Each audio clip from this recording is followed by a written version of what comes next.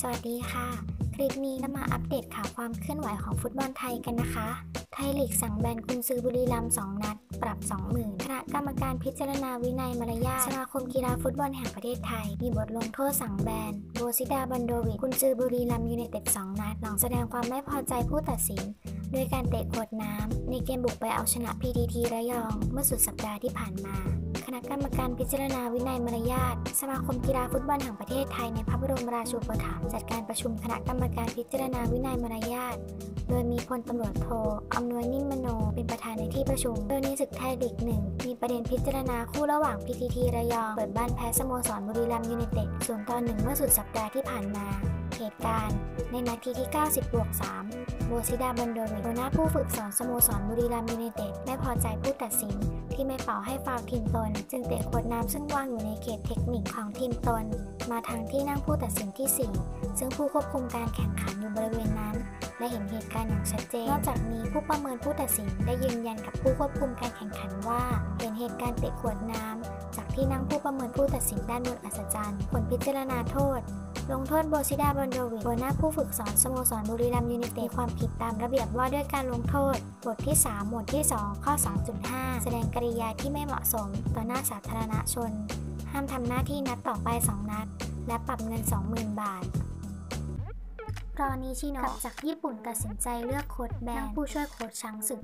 ความคืบหน้าช้างศึกทีมชาติไทยชุดใหญ่ภายใต้การคุมทีมของอากิระนิชิโนะคุณซื้อเลือดซามูไร มีโปรแกรมแข่งขันฟุตบอลโลก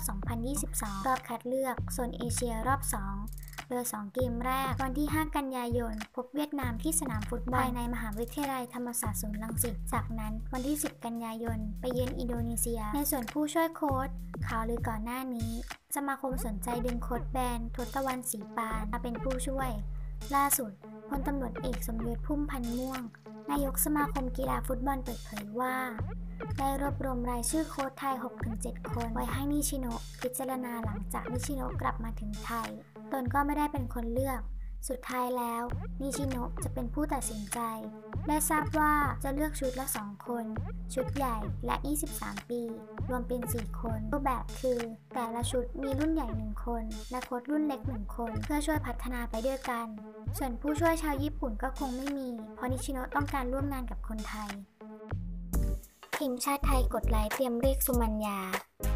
ฟอร์มเข้าตาทีมชาติไทยชุดใหญ่ เตรียมเรียกเจ้าตั๊กสุมัญญาปุริสาย ติดทีมชาติอีกครั้ง โดยอากิระนิชิโนะเตรียมไปเช็คฟอร์มอีกครั้ง นัดการท่าเรือเปิดบ้านดวล SCG เมืองทองวันที่ 11 สิงหาคมนี้ จากฟอร์มที่ลากเดี่ยวกว่าครึ่งสนาม ไปซัดให้กับการท่าเรือ FC ออกนำสิงห์เชียงรายยูไนเต็ด 2 ต่อ 0 ก่อนที่ทีมจะชนะไป 3 ต่อ 2 ใน FA Cup 2019 รอบ 8 ทีมสุดท้าย เมื่อวันที่ 7 สิงหาคมที่ผ่านมาสำหรับเจ้าตั๊กสุมัญญาปุริสาย โดยเกมดังกล่าวสตาฟทีมชาติไทยชุดใหญ่ได้เข้าไปนั่งดูด้วย โดยมีรายงานว่า พวกเขาค่อนข้างประทับใจฟอร์มของจอมทัพหมายเลข 11 แห่ง PAT Stadium อย่างมาก และได้รายงานไปให้กับอากิระนิชิโนะทราบเป็นที่เรียบร้อยแล้วอากิระนิชิโนะกุนซือใหญ่ชาวญี่ปุ่นของทีมชาติไทยชุดใหญ่ ก็เตรียมที่จะไปเช็คฟอร์มของเจ้าตักอีกครั้ง ในวันอาทิตย์ที่ 11 สิงหาคมนี้ ซึ่งการท่าเรือ FC